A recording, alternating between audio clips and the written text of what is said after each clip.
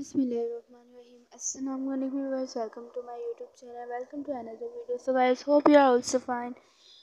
आज के इस वीडियो में आपको बहुत ही ब्यूटीफुल हाउस पेंटिंग देखने को मिलेगी outside exterior beautiful different houses हैं. बहुत ही उसके साथ बाहर गार्डन भी बनाए गए हैं. डिफरेंट शेप्स के और स्क्वायर शेप के. ब्यूटीफुल हाउस है. बिग जो है garden style northern southern and different types of houses बहुत ही ब्यूटीफुल अट्रैक्टफुल है।